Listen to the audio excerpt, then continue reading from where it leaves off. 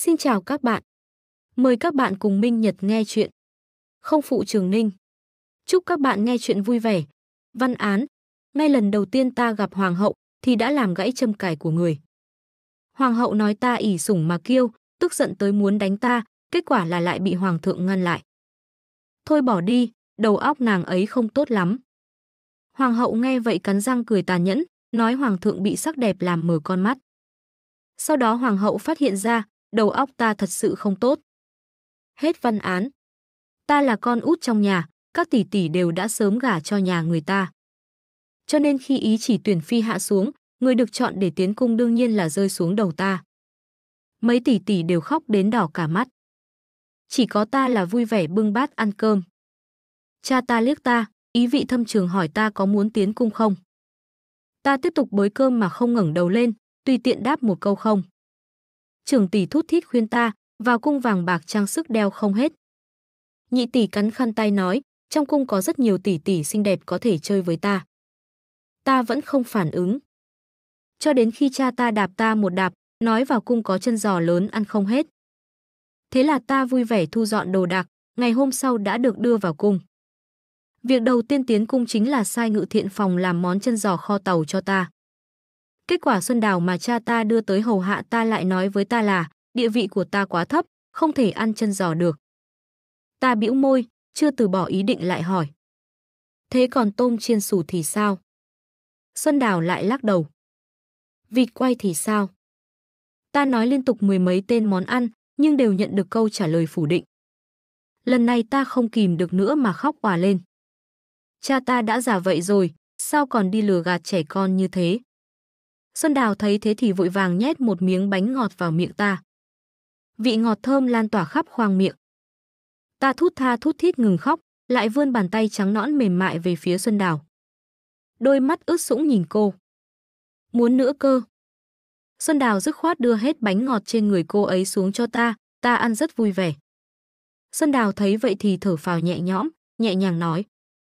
Lão gia đưa tiểu chủ vào cung cũng là vì không còn cách nào khác, Tính cách tiểu chủ đơn thuần lương thiện, miễn là không tranh không đoạt, chúng ta luôn có thể sống yên ổn ở trong cung. Tuy rằng phân vị của tiểu chủ hơi thấp, chi tiêu ăn mặc cũng sẽ không bằng với những nương nương được sủng ái kia, nhưng tốt xấu gì thì cuộc sống cũng có thể thoải mái hơn chút. Ta cau mày cắn đũa, nhìn phần rau xanh chiếm hơn nửa trên bàn trước mặt. Đột nhiên đập đũa xuống bàn, ta đứng lên, hào khí muôn trượng chỉ lên trời quyết lập chí lớn. Ta muốn làm sủng phi. Cái gì? Xuân Đào chớp mắt nhìn ta, vẻ mặt hoảng sợ bịt miệng ta lại.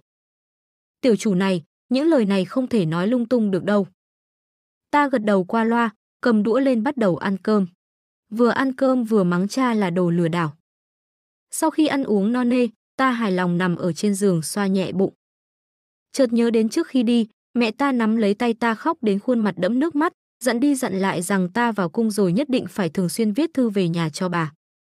Thế là ta lại nhảy xuống giường, lấy giấy bút ra, nghĩ ngợi một lúc rồi cầm bút lên viết. Cha mẹ vẫn khỏe chứ, con gái ở trong cung sống rất tốt, chỉ có điều đồ ăn hơi tệ, nhưng mẫu thân đừng lo lắng, con gái nhất định sẽ chăm chỉ tranh sủng, phấn đấu để sớm được ăn chân giò. Sau khi viết thư xong, ta trịnh trọng giao nó cho Xuân Đào. Sáng sớm ngày hôm sau, Xuân Đào bèn kéo ta dậy, hầu hạ ta rửa mặt trải đầu, ta nhìn sắc trời vừa mới hưởng sáng nũng nịu hỏi cô có thể ngủ thêm 15 phút nữa hay không. Xuân Đào bất lực thở dài, đành đồng ý. Kết quả là đến khi mặt trời lên cao ba xào rồi ta mới dậy. Cũng may bây giờ hoàng thượng chưa sắc phong hoàng hậu, ta không cần mỗi sáng sớm thức dậy phải đi thỉnh an. Nếu như cả đời này hoàng thượng có thể không lập hoàng hậu thì tốt quá. Ăn cơm chưa xong, ham muốn tranh sủng càng thêm mãnh liệt. Ta kéo Xuân Đào ra ngoài đi dạo. Trong thoại bản đều viết như vậy, có một phi tần nọ vừa mới tiến cung, tình cơ gặp được hoàng thượng trong ngự hoa viên, hoàng thượng vừa gặp đã yêu người đó, hai người nhanh chóng rơi vào bể tình.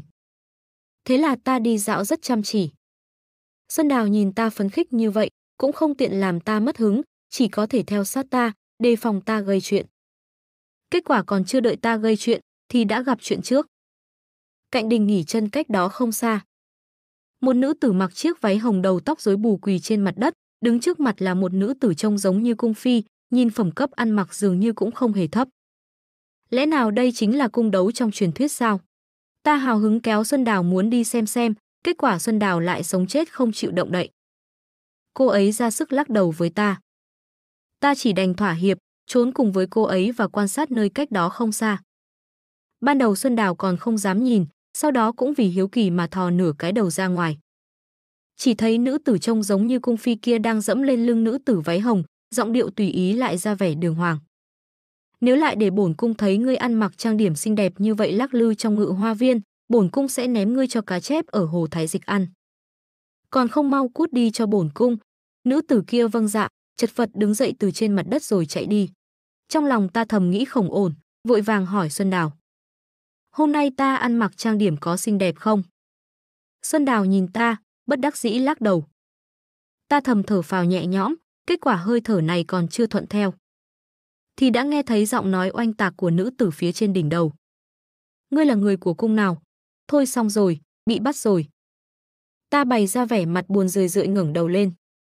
Đối diện với khuôn mặt trong trẻo rung động lòng người giống như là tia nắng xuân kia, bầu không khí giãn ra.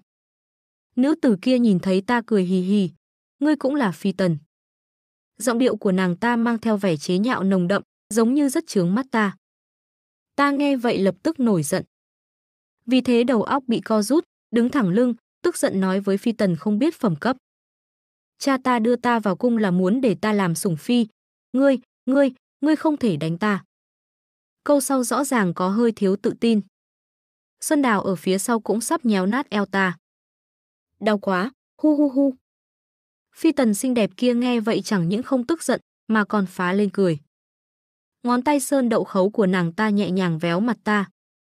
Làm sủng phi, đúng là có tham vọng.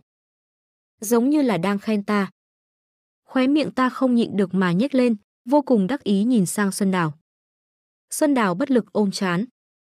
Ta ngây thơ chớp mắt, lại nhìn sang mỹ nhân tỷ tỷ. Tỷ tỷ, tỷ cũng là phi tần của hoàng thượng sao? Nàng ta nghe vậy rất đắc ý mà ưỡn ngực, bổn cung là quý phi, đến nay vị trí hoàng hậu vẫn còn trống, toàn bộ hậu cung, bổn cung là người có địa vị cao nhất. Ta lập tức nhìn nàng ta với ánh mắt ngưỡng mộ.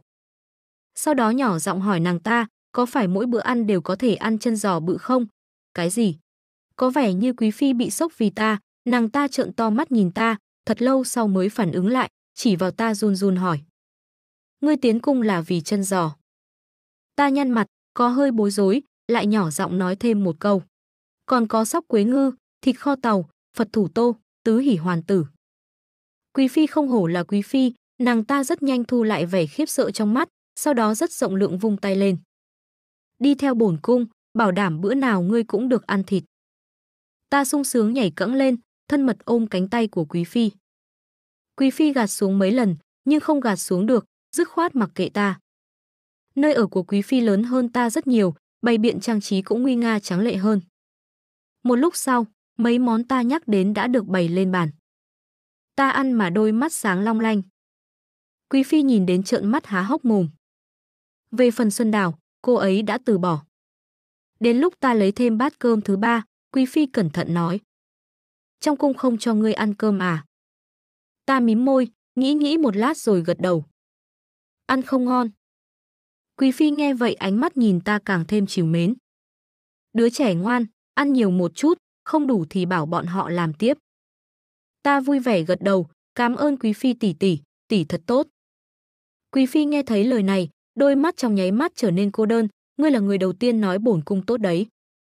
Hai má ta phồng lên vì nhét đồ ăn, nhưng ánh mắt vẫn long lanh nhìn quý phi, kiên định nói: "Quý phi tỷ tỷ tốt nhất trên trời đất này." Khóe môi đỏ tươi của quý phi xuất hiện một nụ cười. Nhưng rất nhanh không cười nổi nữa. Bởi vì ba tháng sau đó, mỗi ngày ta đều đến đây.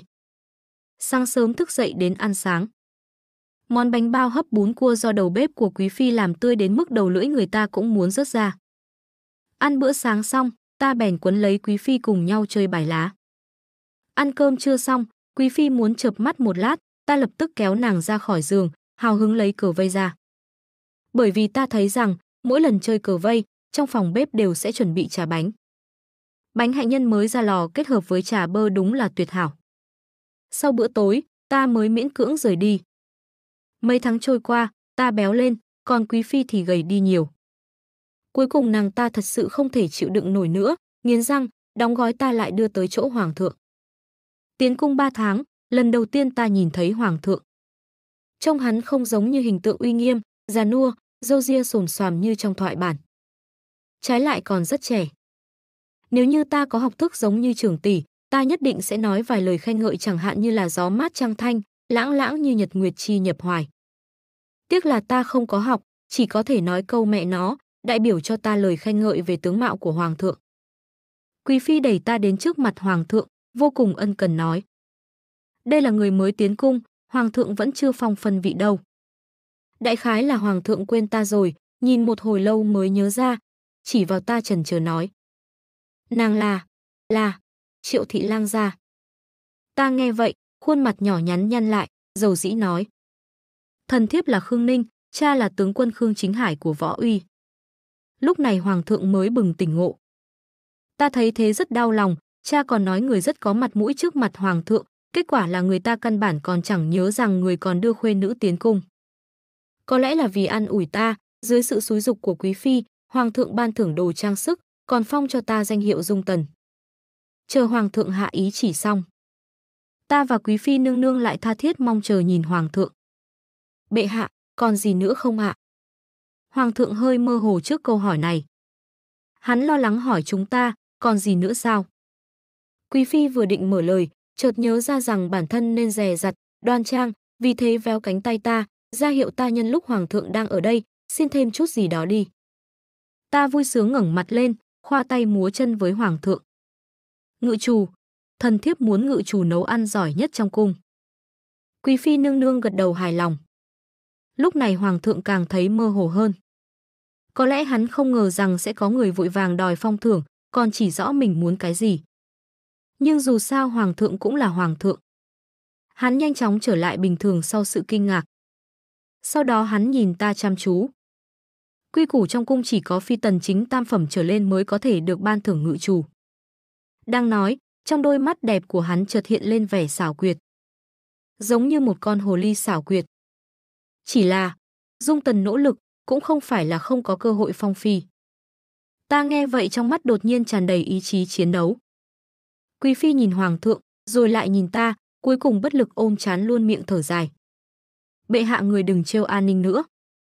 Hoàng thượng nghe vậy cười phá lên. Chỉ có ta là mơ hồ nhìn hai người họ. Sau đó dường như hoàng thượng cuối cùng cũng tìm được niềm vui nào đó. Suốt ngày chạy đến cung quý phi nương nương. Thỉnh thoảng còn trêu ta. Mỗi lần tới, hoàng thượng đều sẽ mang đồ ăn ngon đến cho ta. Chỉ là khi màn đêm buông xuống, họ sẽ đuổi ta ra ngoài, không được ăn no cũng chẳng thể ở lại ăn khuya. Có một hôm ta không kìm được, lại lén lút quay lại. Kết quả là cung nữ cảnh vinh bên cạnh quý phi sống chết cũng không chịu để cho ta vào. Ta chỉ có thể buồn rầu ngồi trên bậc thềm không chịu đi. Chắc chắn là hoàng thượng ở sau lưng ta với quý phi tỷ tỷ đang ăn gì đó ngon rồi. Cũng là vì phân vị của ta thấp kém nên nên mới không chịu đưa ta theo cùng. Mong muốn được làm sủng phi càng trở nên mãnh liệt. Ta đang nghĩ như vậy thì ngủ thiếp đi mất. Ngày hôm sau hoàng thượng bước ra ngoài với vẻ mặt thỏa mãn, kết quả nhìn thấy ta đang ngồi trên bậc thềm mà bị dọa cho giật nảy mình. Ta tủi thân chừng mắt nhìn hắn, vừa khóc vừa men chạy vào tìm quý phi.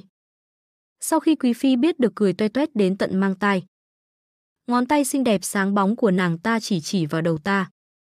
Ngươi, ngươi đó, sao hoàng cung lại có thêm một người thú vị như an ninh chúng ta nhỉ?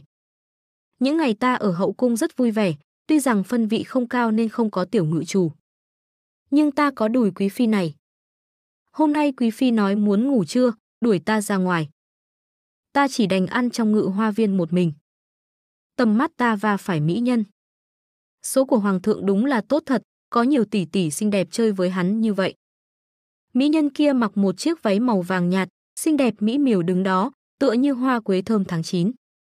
Đến gần hơn nữa, ngay cả trên cơ thể cũng thoang thoảng mùi hoa quế. Ta cau mày nghĩ, đã đến mùa nên ăn bánh quế thơm rồi. Ai ngờ mỹ nhân đó lại nhìn ta với vẻ mặt khác lạ. Nàng ta cố ý nói với cung nữ bên cạnh bằng tông giọng mà ta có thể nghe thấy, có vài người. Trời sinh dự liệu làm chân chó, lại cho rằng bản thân đã nắm quý phi trong lòng bàn tay là có thể kê cao gối mà ngủ. Cũng không ngẫm lại xem, quý phi nương nương chúng ta vinh sủng trong người, sao có thể chú ý đến một thê thiếp tầm thường chứ? chẳng qua là lúc rỗi rãi che đậy đôi chút, làm một món đồ chơi mà thôi. Ta nghe vậy cảm thấy có hơi không đúng lắm, có người muốn đoạt quý phi tỷ tỷ với ta sao? Vì vậy ta cẩn thận bước tới, chọt chọt cánh tay mỹ nhân kia. Mỹ nhân tỷ tỷ, tỷ đang nói về ai thế? Mỹ nhân kia thấy thế hoảng sợ, dường như không ngờ ta sẽ tới. Đôi môi đỏ mọng của nàng ta cong lên thành một nụ cười mỉa mai. Xa tận chân trời, gần ngay trước mắt. Ta nhíu mày nhìn Xuân Đào. Xuân Đào vội vàng lắc đầu. Không có ai khác quanh đây. Nghĩ tới đây, ta lập tức cảnh giác nhìn mỹ nhân kia. Trái với cái dáng dấp xinh đẹp kia, vậy mà lại mưu toan dụ dỗ quý phi tỷ tỷ của ta. Quá đáng, quá đáng lắm rồi. Dưới ánh nhìn của ta mỹ nhân kia cảm thấy có hơi mơ màng. Nàng ta kinh ngạc nghi ngờ nhíu mày, ánh mắt của ngươi như vậy là sao? Ta biết rồi đấy nhé. Ngươi biết cái gì? Tỷ ỉ vào bản thân mình xinh đẹp, muốn cướp quý phi tỷ tỷ của ta. Cái gì? Mỹ nhân kia kinh ngạc nhìn ta, dường như chưa kịp phản ứng. Nàng ta chỉ vào mình, hỏi ta. Ngươi biết bổn cung là ai không? Ta vẫn nhìn nàng ta với vẻ mặt tràn đầy sự cảnh giác. Nhưng trong lòng lại đang rất hoảng sợ. Nàng ta muốn lấy địa vị ra để đè chết ta. Hu hu hu, ta chỉ là một tiểu phi tần thôi mà, không quyền không thế, làm sao giành thắng nàng ta đây? Tâm tư muốn tranh sủng càng thêm mãnh liệt. Sau này ta mới biết, phân vị của nữ tử kiều mị này chỉ đứng sau mỗi quý phi. Là thục phi đứng hàng tứ phi. Ta nhìn nàng ta, lông mày lá liễu, khuôn miệng anh đào, khuôn mặt bằng lòng bàn tay, vòng eo dương liễu, là một mỹ nhân tràn đầy sự mê hoặc. Hiền lương thục đức tuyệt chẳng liên quan đến chút nào. Phi vị này là bỏ tiền ra để mua à? Vì để đề phòng quý phi tỷ tỷ bị tiểu yêu diễm đó cướp đi mất. Ta âm thầm lén lút nói xấu Thục Phi trước mặt Quý Phi, nói tính cách nàng ta đã không dịu dàng còn không thích ăn chân giò bự. Kết quả là trong cung lại đồn thành, Thục Phi nương nương bị hôi chân, không thích tắm rửa lại còn thích ăn hành tây bao tỏi. Thật sự rất quá đáng, con mẹ nó thật quá đáng, quá đáng lắm rồi. Vậy nên khi Thục Phi nương nương tức điên người tới tìm ta, ta chạy thẳng vào tẩm cung của Quý Phi tỷ tỷ. Trốn ở đằng sau nàng ta, ta thò nửa cái đầu ra, nhìn Thục Phi bóp eo dương liễu, đùng đùng nổi giận xông vào. Vừa vào cửa đã gọi thẳng tên húy của quý phi. Mạnh thường, ngươi đúng là có bản lĩnh quá nhỉ. Xúi dục một kẻ không não như vậy, khi không lại đi bôi nhọ thanh danh của bổn cung. Hai tay thục phi nương nương chống eo, khí thế bức người. Còn quý phi, nàng cười híp mắt, ngước mắt lên nhìn thục phi đầy sự khinh thường. Ta sợ đến mức vội vàng nhảy dựng lên che mắt quý phi lại. Quý phi tỷ tỷ chỉ được phép nhìn an ninh thôi. Thục Phi nghe vậy cơ thể lập tức run lên, ngón tay sơn đậu khấu đỏ tươi run rẩy chỉ vào ta. Ngươi, các ngươi. Quý Phi mỉm cười vỗ tay nàng ta. Lời nói đùa của một đứa trẻ thôi, ngươi như vậy không nặng chẳng nhẹ còn cho đó là thật. Thục Phi hừ lạnh một tiếng, quay đầu đi, nhưng tai lại lặng lẽ đỏ lên. Vào bữa trưa, Thục Phi vẫn không chịu rời đi, ánh mắt ta khẽ liếc trộm nàng ta. Chân mày lá liễu của nàng ta dựng thẳng lên, thét lên với ta. Nhìn cái gì? Trên mặt bổn cung có chữ hay gì? Mặc dù nàng ta rất hung dữ, nhưng chuyện có liên quan đến việc một mình ta có thể độc chiếm chân giò bự hay không? Ô không, chiếm quý phi tỷ tỷ làm của riêng. Ta vẫn lấy can đảm nhỏ giọng hỏi nàng ta. Nương nương người vẫn còn chưa đi, có phải là muốn ăn trực không đấy? Thục phi còn chưa nói gì, quý phi tỷ tỷ đã cười trước. Nàng xoa đầu ta, nói được rồi, hai người đều ở lại cùng ăn chưa đi. Ta rất thích quý phi tỷ tỷ, tỷ ấy nào có cái dáng vẻ ỷ thế mạnh mà không coi ai ra gì như cung nhân nói đâu, trái lại còn là một người cực kỳ tự do phóng khoáng. Bữa trưa hôm nay có món sóc quế ngư yêu thích của ta. Bình thường quý phi tỷ tỷ không thích ăn những thứ nhiều dầu mỡ này, cho nên theo lý mà nói, ta có thể một mình ăn hết cả một con, nhưng mà hôm nay có thêm một thục phi. Ta nhìn thục phi, lại nhìn con cá, cuối cùng dường như đã hạ quyết tâm rất lớn gắp một miếng thịt cá lớn lên đặt vào chén của thục phi. Thục Phi ngạc nhiên ngẩng đầu nhìn ta, lại thấy ta bảo vệ cả đĩa sóc quế ở trước mặt với tốc độ cực nhanh. Giống như một con mèo con bảo vệ thức ăn của nó. Thục Phi cố chịu đựng cơn đau giật giật ở huyệt thái dương. Bổn cung không thèm cướp với ngươi. Chữ cướp gần như là nghiến chặt răng mà nói ra. Ta nghe vậy thì âm thầm thở phào nhẹ nhõm. Trải qua chuyện này, quan hệ giữa Thục Phi và Quý Phi cũng đã dịu đi rất nhiều.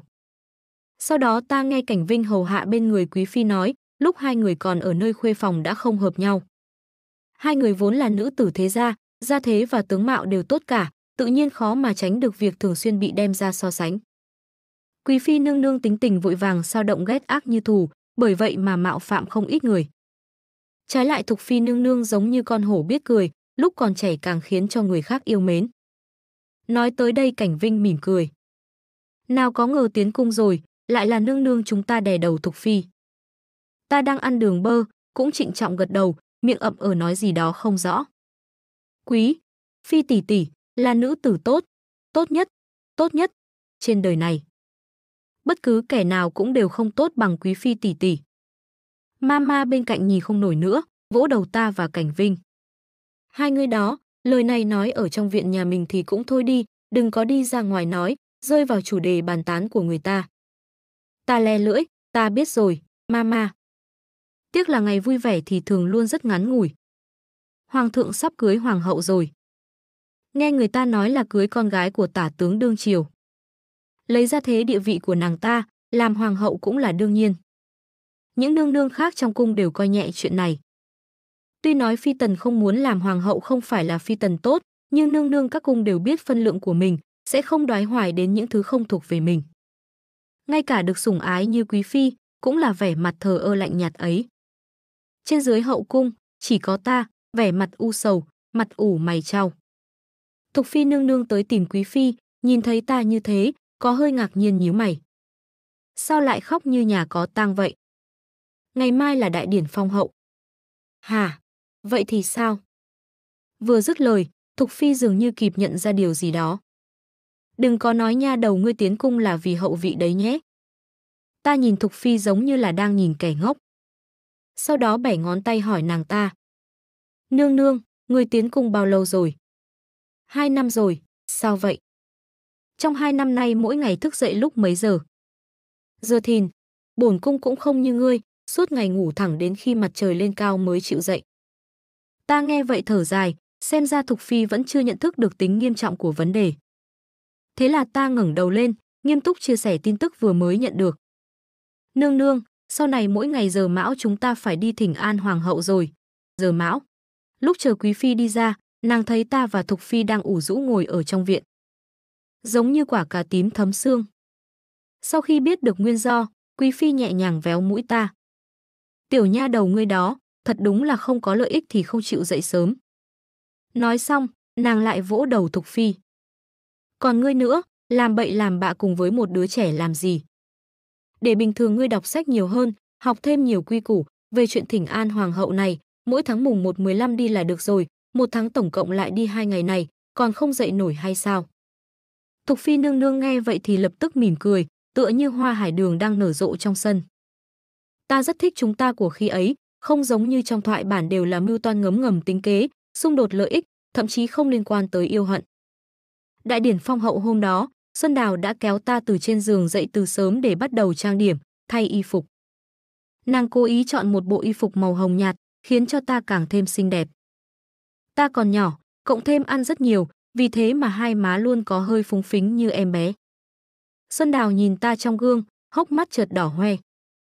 Mấy năm trước tiểu chủ mới có chút xíu như vậy này, cả ngày ôm eo nô tỳ, la hét đòi được ăn bánh ngọt.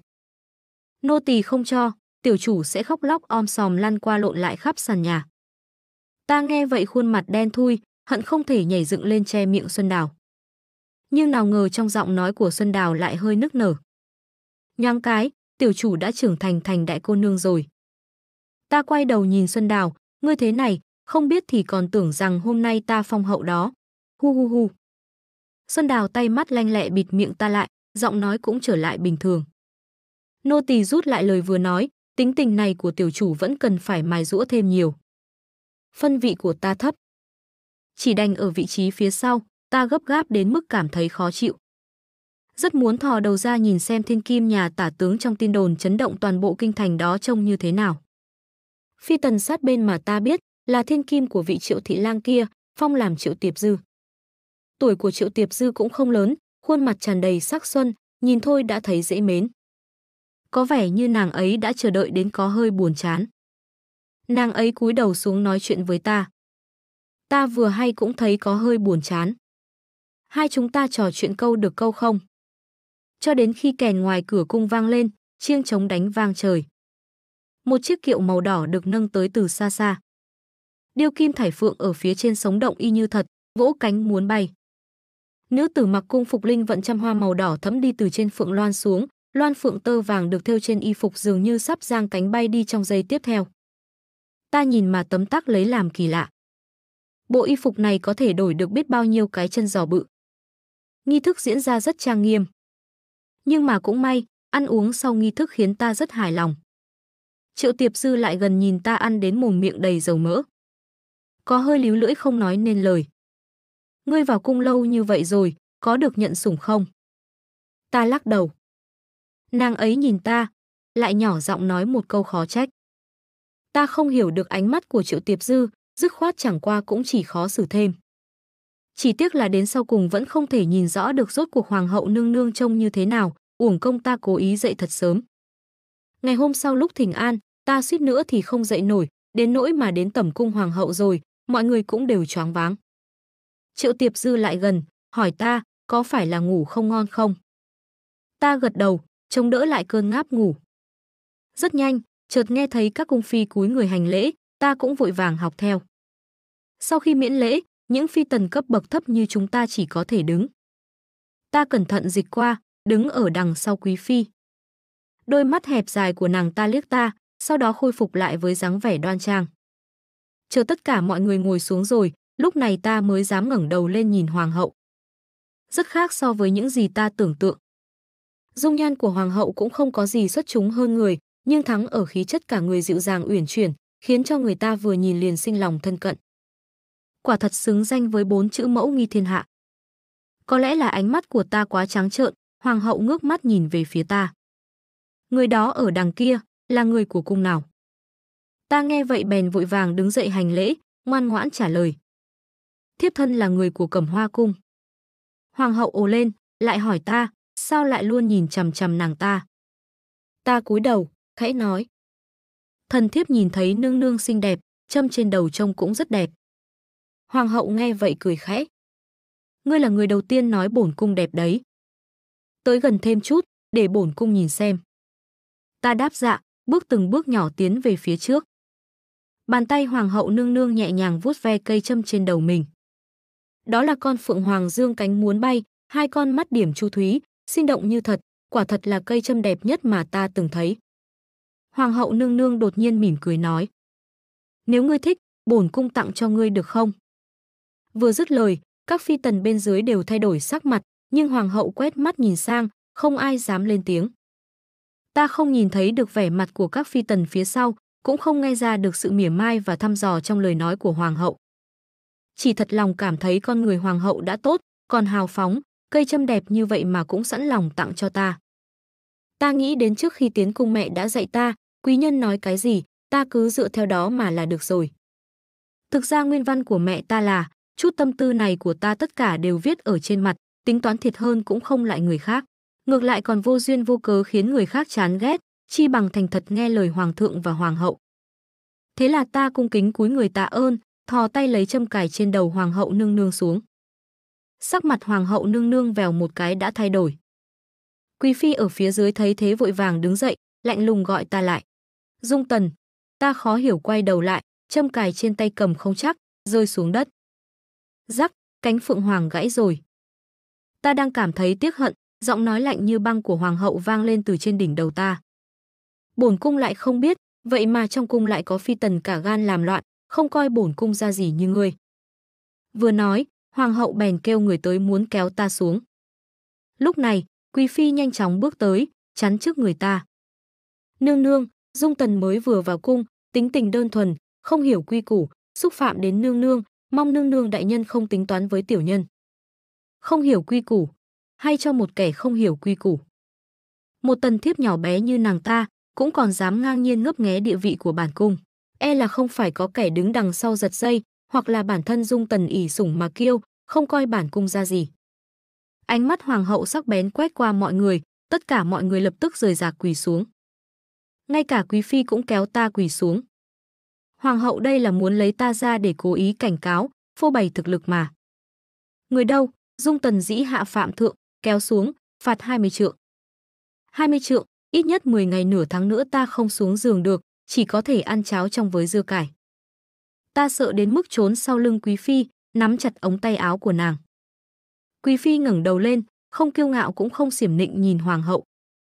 Nếu nương nương muốn lập uy, hà tất gì phải lấy một tiểu phi tần như dung tần đây ra khai đao chứ? Chẳng lẽ Quý Phi cảm thấy, bổn cung không làm gì được ngươi? Hai người đối chọi gay gắt, người bên dưới đều không dám thở mạnh. Đúng lúc này, chỉ nghe thấy tiếng Hoàng thượng giá lâm. Một giọng nói êm dịu tuấn lãng truyền đến. Đây là sao đây? Từ xa đã nghe thấy các nàng ở đây đang ồn ào, quỳ xuống đất là thế nào? Hoàng hậu đổi thành bằng một nụ cười đoan trang khéo léo. Chẳng qua là có một tiểu phi tần đi không nhìn, đụng phải bổn cung, bổn cung đang định phạt nàng ấy. Hoàng thượng còn chưa hỏi đó là ai. Thì ta đã vừa khóc thút thít vừa chạy tới, ôm chặt lấy đùi hoàng thượng. Khóc rất đáng thương. Hoàng thượng nhíu mày. Dung tần như thế này là làm sao thế? Hu hu hu, đều là do thần thiếp làm gãy cây châm mà hoàng hậu nương nương tặng cho. Hoàng thượng người cầu xin nương nương đi, đừng đánh thần thiếp mà, thần thiếp sợ đau lắm. Hoàng thượng nhìn châm phượng gãy rơi trên mặt đất, đại khái đã hiểu được là tình huống gì rồi. Thế là hắn kiên nhẫn hỏi ta. Vậy phạt chép sách. Thần thiếp vừa đọc sách là đã thấy đau đầu. Vậy phạt một tháng bổng lộc. Cuộc sống của thần thiếp đã trôi qua rất tiết kiệm rồi. Còn phạt nữa thì chỉ có nước uống gió Tây Bắc thôi. Vậy phạt cấm túc một tháng. Vậy thì thần thiếp sẽ buồn mà chết mất. Hoàng thượng còn muốn nói gì nữa, đột nhiên bị hoàng hậu cắt ngang. Hoàng thượng, người đây là đang tuyên bố muốn dung túng dung tần sao. Nhìn vẻ mặt đầy tức giận của hoàng hậu, hoàng thượng đột nhiên trở nên nghiêm nghị, sau đó trầm giọng nói với ta. Phạt nàng bị cấm túc một tháng, không được phép cò kè mặc cả nữa. Ta chỉ đành phải tủi thân đồng ý. Hoàng hậu vẫn không hài lòng. Hoàng thượng, hoàng thượng bất đắc dĩ nói với hoàng hậu. Hoàng hậu, thôi bỏ đi, đầu óc dung tần không tốt lắm, nàng không cần phải so đo. Hoàng hậu nghe vậy nghiến răng cười tàn nhẫn. Thần thiếp thấy hoàng thượng bị sắc đẹp làm mờ con mắt rồi, nuông chiều dung tần đến không còn chút quy củ nào nữa. Hình như hoàng thượng có hơi sợ hoàng hậu, hắn nghe vậy sờ mũi, lại nhẹ nhàng dỗ dành nàng ta. Hôm nay coi như nể mặt chẫm, quên chuyện này đi, nếu lần sau còn tái phạm, nghiêm trị không tha. Sắc mặt hoàng hậu vẫn không tốt, lạnh lùng nhìn ta. Ta sợ đến mức rụt cổ lại. Lại không nhịn được mà nhỏ giọng nói. Cây châm kia, có còn cho ta không? Đương nhiên là không cho ta cây châm kia, ta còn bị phạt cấm túc một tháng, rất là tức giận.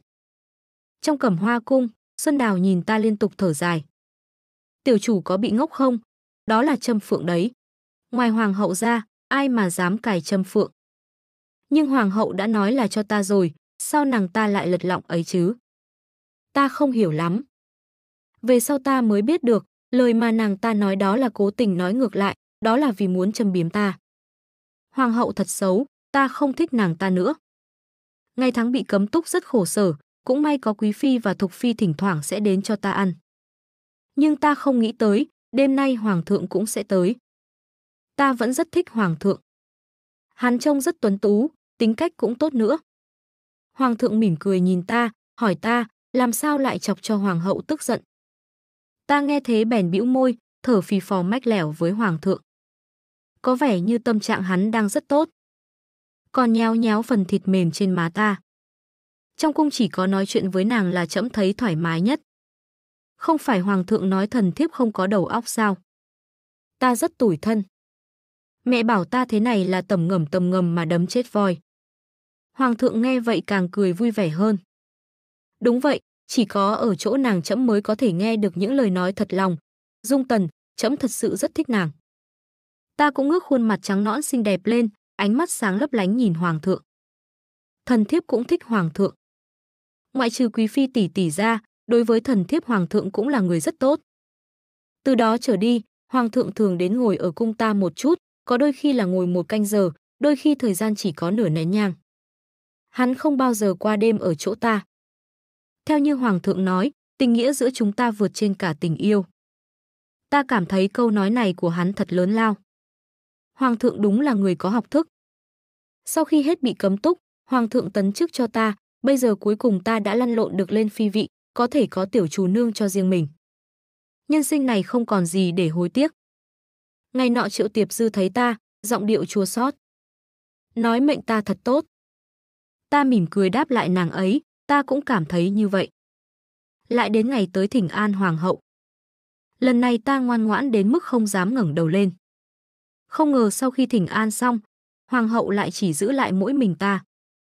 Nụ cười của nàng ta khôi phục lại sự hiền lành như lúc mới gặp. Dung Phi, vài ngày trước bổn cung mới học cách làm điểm tâm, nghe nói ngươi thích ăn điểm tâm nhất, bèn nghĩ tới việc mời ngươi tới nếm thử xem. Ta hơi mơ màng ngẩng đầu nhìn hoàng hậu. Sao nàng ta lại đưa thêm đồ cho ta? Nhưng lần này là điểm tâm, chắc là không có việc gì đâu nhỉ. Nhìn đĩa điểm tâm trên bàn ăn, lại nhìn hoàng hậu. Ta không nhịn được nữa, chia tay cầm lấy một miếng. Khó ăn quá. Ta nhíu mày, nhìn hoàng hậu đầy sự chân thành. Nương nương làm cũng khá đấy, lần sau đừng có làm nữa. Nụ cười trên mặt hoàng hậu lập tức cứng đờ. Nàng ta bên ngoài ngoài thì cười vậy nhưng trong không cười mà nhìn ta. Dung Phi không ăn thêm một chút nữa sao? Ta đẩy đĩa về phía trước, xua tay từ chối. Không nổi nương nương ạ, thật sự rất khó ăn. Lần này hoàng hậu không phạt ta, trực tiếp đuổi thẳng ta ra ngoài. Nhưng ta cảm thấy, nàng ta cho ta ăn món điểm tâm khó ăn như vậy, chính là đang trừng phạt ta. Quay về rồi ta nhất định phải ăn 5 cái, không, 10 cái bánh ngọt để cứu vớt vị giác của mình một chút. Về sau dường như hoàng hậu đã tìm được niềm vui, thỉnh thoảng gọi ta qua thử vài món điểm tâm. Nói thật, mỗi lần ta đều ôm lấy chờ mong, hy vọng rằng tay nghề của hoàng hậu nương nương có thể ngày một tiến bộ. Kết quả là mỗi lúc một sở hơn. Trước đây màu sắc và hương vị thì ít nhất vẫn còn có màu sắc. Lần này nàng ta làm một đĩa pha. Ờ. Nhìn điểm tâm màu vàng xám có hình dáng kỳ lạ trên đĩa. Vẻ mặt ta tràn đầy sự đau khổ nhìn hoàng hậu, vẻ mặt như đưa đám hỏi nàng ta, thật sự ăn thứ đồ chơi này sẽ không chết người chứ. Hoàng hậu nương nương nghe vậy chợt mỉm cười. Nàng ta vươn tay ra sờ vào đầu ta, lại giống như ngờ vực mà hỏi ta. Không phải đầu óc không tốt sao? Sao lại còn kén chọn? Ta hơi phát điên rồi đó. Ngay cả kẻ ngốc cũng còn không thể ăn được thứ này phải không? Nhìn thấy vẻ mặt của ta, hoàng hậu phì cười. Được rồi, bổn cung không đùa ngươi nữa, ngươi tự chơi đi. Y như nàng ta đang huấn luyện chó vậy. Ta buồn bực hồi cung. Vừa mới ngồi xuống chưa được bao lâu, Quý Phi lại gọi tới. Nàng ấy có hơi lo lắng hỏi ta rằng Hoàng hậu có làm khó dễ ta không. Ta nghe thế thì lập tức kích động. Khua tay múa chân rằng đồ ăn của Hoàng hậu dở đến mức nào. Quý Phi mỉm cười sờ đầu ta, nói an ninh chúng ta là kẻ ngốc cũng có phúc của kẻ ngốc. Khi đó ta vẫn chưa hiểu thâm ý trong lời nói của Quý Phi, nhưng chờ đến ngày mà ta thực sự hiểu được, hết thảy đều đã quá muộn rồi. Quý Phi mang thai rồi, phi tần trong cung vốn đã không nhiều, được sủng ái lại càng chẳng có mấy người.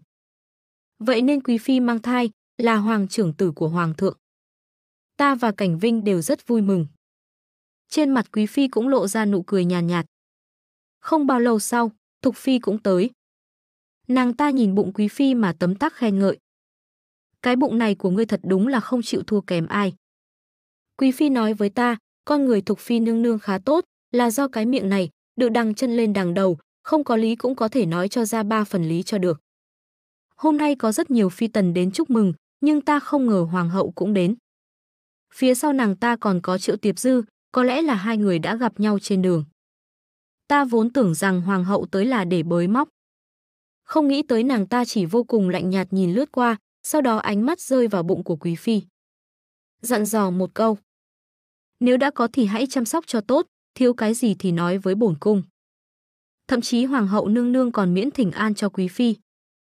Mang thai lại còn có đãi ngộ này sao? Sau khi hoàng hậu đi, ta cứ nhìn chằm chằm bụng mình, hận không thể mang thai ngay. Sau khi quý phi biết được suy nghĩ của ta cười dí vào chán ta. Trong đầu muội, cả ngày đều suy nghĩ những cái gì vậy? Muội mong nương nương có thể sớm sinh hạ tiểu hoàng tử, như thế thì muội có thể để đứa bé gọi muội là gì? Đối với đứa bé này, chúng ta rất háo hức mong đợi. Hoàng thượng cũng vậy. Số lần hắn đến cung quý phi thường xuyên hơn rất nhiều. Mỗi lần đều phấn khích đến tay chân luống cuống như một chàng thiếu niên. Nhìn cái bụng của quý phi bảo nó kêu phụ hoàng. Chỉ thoáng qua trong chớp mắt, Quý Phi đã mang thai được 8 tháng. Nàng mang theo cái bụng to, cả người toát lên tình mẫu tử, ngay cả mặt mày cũng dịu dàng mềm mại hơn rất nhiều. Những ngày này, Hoàng hậu thường đến thăm nàng. Ánh mắt lộ vẻ ngạc nhiên. Cho đến một lần, Quý Phi cầm lấy tay Hoàng hậu, nhẹ nhàng đặt nó ở trên bụng của mình. Ánh mắt Hoàng hậu vụt sáng lên. Đúng là dáng vẻ chưa từng nhìn thấy qua việc đời. Ta sờ bụng của Quý Phi tỷ tỷ mỗi ngày, đôi khi ta sẽ còn ghé vào trên đó lắng nghe nhịp tim của đứa trẻ. Thật sự rất thần kỳ, vậy mà ở đó lại đang ấp ủ một sinh mệnh. Lần này hoàng hậu đem tới một hộp thức ăn.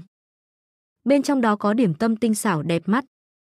Bổn cung đích thân làm đấy, ngươi nếm thử đi. Ký ức ăn dở muốn chết tái hiện lên. Ta vội vàng tiến lên tách hoàng hậu ra, chắn trước mặt quý phi với tư thế như con gà mái già che chở cho con mình. Quý phi mỉm cười đẩy ta ra. Đây là làm sao thế, còn có thể có độc hay sao? Vừa thốt ra lời này, mọi người trong phòng đều thay đổi sắc mặt. Vẻ mặt ta cảnh giác nhìn chiếc hộp kia, sau đó vô cùng nghiêm túc nói với Quý Phi. Quý Phi tỷ tỷ, không ngon. Cực kỳ không ngon. Đã cực kỳ dở thì tương tự nhau cả thôi. Mọi người trong phòng nghe vậy đều thở phào nhẹ nhõm. Ngay cả hoàng hậu cũng mỉm cười và xoa đầu ta. Tiểu nha đầu vẫn còn rất để bụng. Lúc đó ta mới biết, lúc hoàng hậu còn chưa xuất các, nàng ta điểm tâm là độc nhất vô nhị ở trong kinh. Quý phi nương nương cười trêu ghẹo.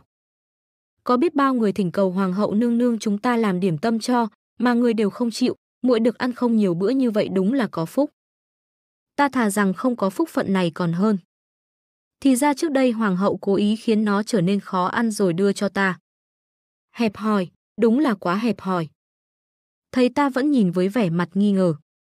Hoàng hậu đành cầm lấy một cái đưa tới bên miệng ta. Ngươi nếm thử xem. Mùi thơm đầy hấp dẫn của điểm tâm hòa lẫn với một chút vị ngọt câu người. Ta quao lên cắn một miếng phát hết luôn, ngay cả ngón tay của hoàng hậu cũng bị ta ngậm ở trong miệng. Nàng ta kêu lên rút ngón tay ra, có hơi chán ghét nhìn ta. Đúng là không biết ý tứ. Mấy người lại cười rộ lên. Nhìn thấy vẻ mặt thỏa mãn của ta. Thục phi nương nương cũng tò mò đi tới, cầm lấy một cái bánh ngọt. Nào, làm gì mà căng thẳng thế, ta còn tưởng là có độc ấy chứ. Nào có ngờ tới lời nói đùa thế mà lại ứng nghiệm thật.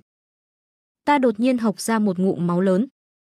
Hai con mắt tối sầm, mất đi ý thức.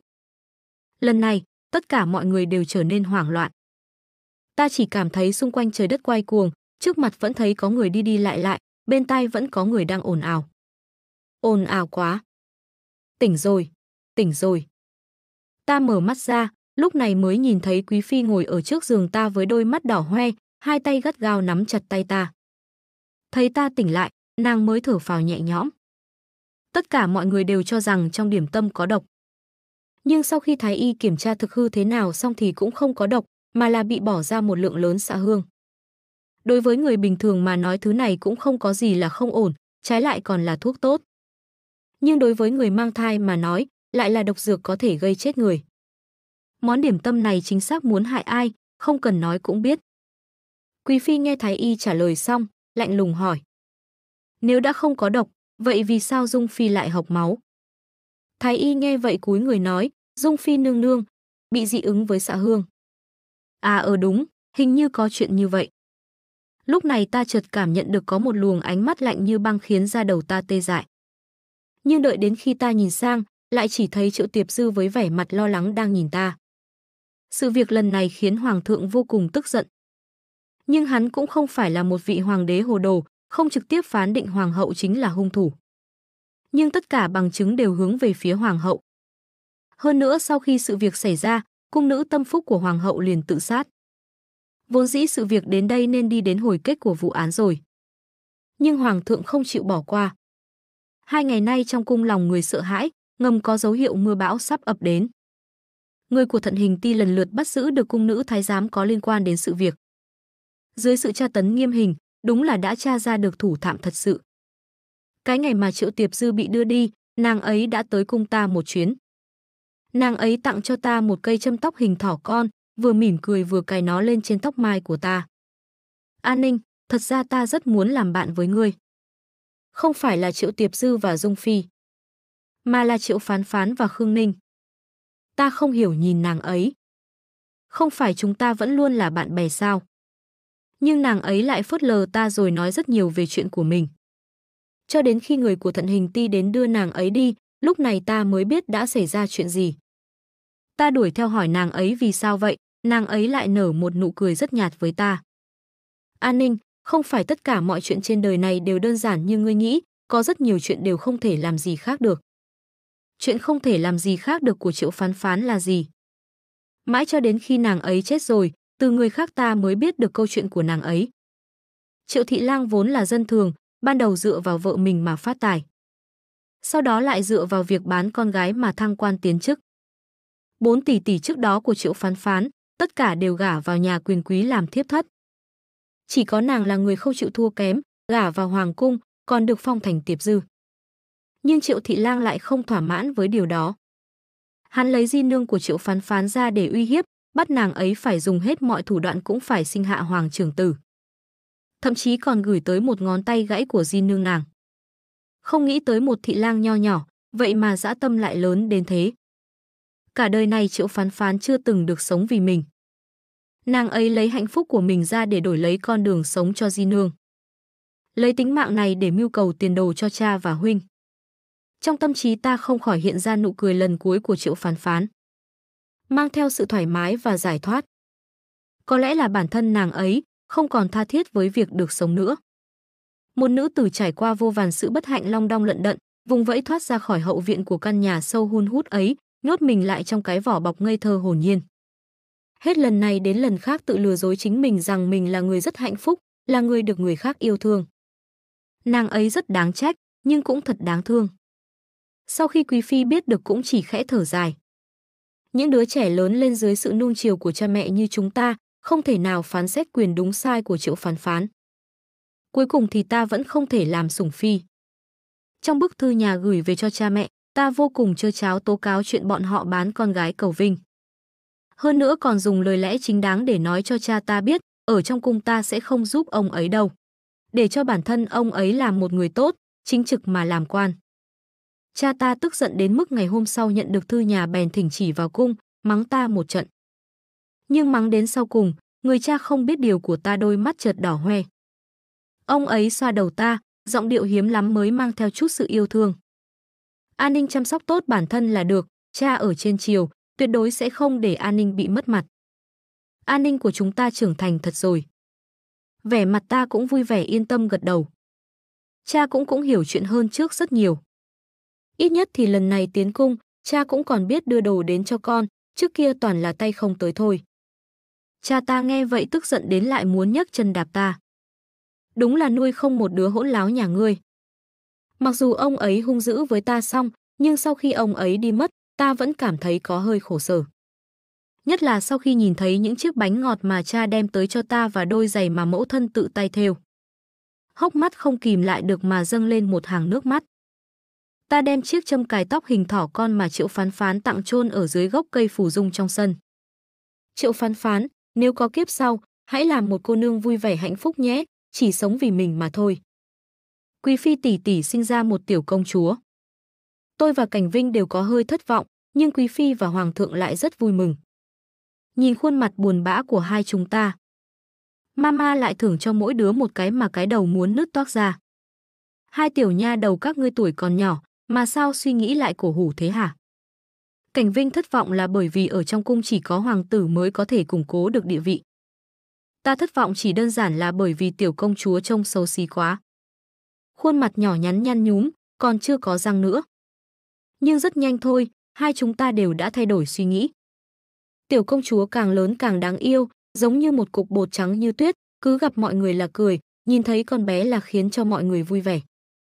Thực ra hoàng thượng không tính là người trung tình, nhưng hắn đối xử với quý phi lại luôn có hơi khác biệt. Hắn ban tên cho tiểu công chúa là Vĩnh Lạc. Mong con bé sẽ luôn hạnh phúc. Thục phi nương nương ngày nào cũng đều đến thăm Vĩnh Lạc. dáng vẻ tha thiết trông mong, khiến ta không nhịn được mà nghi ngờ, giây tiếp theo nàng ta sẽ cướp đứa trẻ đi mất. Kết quả là không bao lâu sau đó, nàng ta cũng mang thai. Khoảng thời gian đó Thục Phi giống như con khổng tước hoa kiêu ngạo, cả ngày đi lòng vòng khắp hoàng cung. Đi dạo xong còn không quên đến chỗ quý phi khoe khoang. Đến lúc đó bổn cung nhất định sẽ sinh ra một tiểu công chúa còn đẹp hơn cả Vĩnh Lạc. Vĩnh Lạc đang chơi ở một bên thì nghe thấy tên mình, nhếch miệng cười với Thục Phi. Đôi mắt Thục Phi đột nhiên sáng ngời. Nàng ta xông tới ôm lấy Vĩnh Lạc, cứ mở miệng là gọi cục cưng. Mấy ngày trước, Thục Phi sinh rồi, là một hoàng tử. Sau khi Thục Phi nương nương biết được là một hoàng tử, vẻ mặt thất bại. Nàng ta rất không thích tiểu hoàng tử. Cả ngày chạy tới cung quý phi trêu chọc Vĩnh Lạc. Có một lần còn nói muốn đổi tiểu hoàng tử lấy Vĩnh Lạc. Hoàng thượng đặt tên cho tiểu hoàng tử là Vĩnh Trương. Có thể là Vĩnh Trương đã bị ảnh hưởng bởi Thục Phi, từ nhỏ đã thích lẽo đẽo theo sau Vĩnh Lạc. Giọng nói ngọt ngào gọi con bé là tỷ tỷ. Năm Vĩnh Lạc 5 tuổi, Quý Phi tỷ tỷ lại mang thai. Lần này là tiểu hoàng tử. Hoàng thượng ban tên cho thằng bé là Vĩnh An. An Lạc là lời chúc phúc tốt đẹp nhất mà hắn dành cho hai đứa trẻ này. Lần này phi tần trong cung đều tấn vị phân. Thục phi như ý nguyện được thăng làm quý phi. Quý phi thì trở thành hoàng quý phi. Ta cũng được thơm lây theo, được phong tước hiệu đức phi. Đôi khi ta sẽ nghĩ rằng, nếu như sau này lại có nữ tử tiến cung, từ xa xa trông thấy ta, có thể cũng sẽ giống như ta trước đây nhìn thấy Thục Phi, cảm thấy phi vị của ta cũng là mua mà có được hay không. Nghĩ đi nghĩ lại, ta bật cười. Cười rồi lại khóc. Có lẽ ta không phải là kẻ thông minh gì. La lối ồn ào cả đời muốn tranh sủng, nhưng chưa bao giờ nhận được ân sủng. Thỉnh thoảng hoàng thượng vẫn thích đến cung ta ngồi một chút. Hắn nói lúc ta mới tiến cung, tuổi còn nhỏ, mỗi lần ta chớp mắt nhìn hắn đều khiến trong lòng hắn trở nên mềm mại. Giống như nhìn thấy một người muội muội ngưỡng mộ huynh trưởng mình. Hoàng thượng hỏi ta có muốn xuất cung không, hắn có thể sắp xếp cho ta. Ta từ chối. Trong cung này, còn có người mà ta quyến luyến. Có những người bạn tri âm tri kỷ nhất của đời ta. Ta muốn ở lại đây, nhìn người mà ta quan tâm, cuộc đời này đều có thể được viên mãn. Cả đời này hoàng hậu không có con nối dõi. Mãi cho đến sau này nàng ta ốm nặng, ta mới biết. Trước đây vì Triệu Tiệp Dư muốn một kích đánh chúng, trong thức ăn nước trà hay thậm chí ở trên y phục trang sức của hoàng hậu đều bị bỏ xạ hương. Về lâu về dài, cơ thể hoàng hậu bị tổn hại, cả đời này cũng không thể có thai. Ở khóe mắt nàng ta đã sớm có nếp nhăn. Cũng không còn phong thái của năm đó nữa. Nhưng nàng ta lại nhìn ta mỉm cười. An ninh, thật ra bổn cung rất hâm mộ ngươi. Vô lo vô nghĩ, cả quãng đời này. Thật ra hoàng hậu không yêu hoàng thượng, nàng ta có ái mộ một chàng thiếu niên. Nhưng vì mẫu tộc, nàng ta bắt buộc phải tiến cung. Hoàng hậu ra đi vào ngày nắng ấm áp nhất của ngày xuân.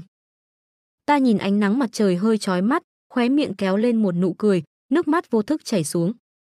Như vậy cũng tốt, hoàng hậu nương nương sợ lạnh nhất. Không biết từ khi nào, ta tiến cung đã được 30 năm. Từ một thiếu nữ không dành thế sự, đã trở thành đức phi người người thấy đều phải cúi người hành lễ.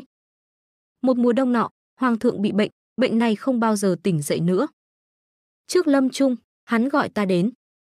Dung mạo của hoàng thượng đã sớm không còn tuấn lãng dịu dàng của năm đó. Từ khi nào mà hắn đã trở nên già nua như vậy? Hoàng thượng nhìn ta lại mỉm cười. An ninh, nàng đã trở thành tiểu lão thái thái rồi. Ta cũng cười theo. Bệ hạ cũng là ông lão rồi. Trung quy chấm cũng có lỗi với nàng. Ta lắc đầu, nắm lấy tay hoàng thượng. Bệ hạ đối xử với an ninh rất tốt, đời này có thể gặp được bệ hạ đã là chuyện may mắn lớn nhất của thần thiếp. Hắn mỉm cười, lại bảo ta gọi hoàng quý phi vào. Sau khi hoàng thượng băng hà, mắt thường cũng có thể nhìn thấy hoàng quý phi già đi. Giống như niềm tin của cả đời này đã hoàn toàn sụp đổ. Nàng ấy thật lòng ái mộ hoàng thượng. Gặp nhau thời niên thiếu, đủ để kinh diễm cả một đời. Vĩnh An đăng cơ là chuyện thuận lý thành trương. Hoàng Quý Phi trở thành Thái Hậu. Ta cũng được thơm lây làm Thái Phi. Quý Phi và Vĩnh Trương cùng đi đến Thái ấp, lần này không quay về kinh thành nữa. Ta và Thái Hậu đều biết. Vì nàng ta muốn Vĩnh An yên tâm. Sau khi tiên hoàng băng hà một năm thì Thái Hậu cũng đi theo. Ta nhìn khuôn mặt đang ngủ yên bình của nàng ấy. Trong lúc bần thần nhớ lại, biển hoa hải đường ngập trời, Quý Phi mặc một bộ y phục màu đỏ. Nàng ấy cực kỳ tùy ý nói với ta. Đi theo bổn cung, bảo đảm rằng bữa nào ngươi cũng được ăn thịt. Bây giờ, có lẽ ta nên đi theo nàng ấy. Nếu không một mình nàng ấy ở dưới này sẽ chán lắm. Đời này ta không có con. Trước khi chết, Vĩnh Lạc và Vĩnh An nằm trên giường ta khóc rất đau lòng. Vĩnh Lạc đã lớn trở thành một đại cô nương xinh đẹp. Giống mẫu thân con bé quá. Con bé khóc túm lấy tay ta. Nương nương, người đừng đi mà, mẹ con đã đi rồi, người cũng không thể bỏ lại chúng con nữa. Ta khó khăn đưa tay lên, sờ đầu Vĩnh Lạc. Đứa trẻ ngoan, nương nương phải đi cùng với mẫu phi của các con rồi, con người tỷ ấy ấy à, là người sợ tối nhất. Ta cảm thấy sức lực đang dần dần cạn kiệt đi. Trước mắt lại xuất hiện một luồng ánh sáng rực rỡ. Cuối luồng ánh sáng ấy là Mạnh Thường mặc một bộ váy màu đỏ rực rỡ phóng khoáng. Chúng ta cởi bỏ hết những gông cùm xiềng xích, vinh nhục khắp người. Lấy thân phận Khương Ninh và Mạnh Thường, lại một nữa gặp lại nhau. Nếu có kiếp sau, không phụ Trường Ninh. Hoàn toàn văn. Nếu các bạn thấy hay hãy like video và theo dõi Minh Nhật TV để nghe thêm nhiều chuyện hay nữa nhé. Cảm ơn các bạn.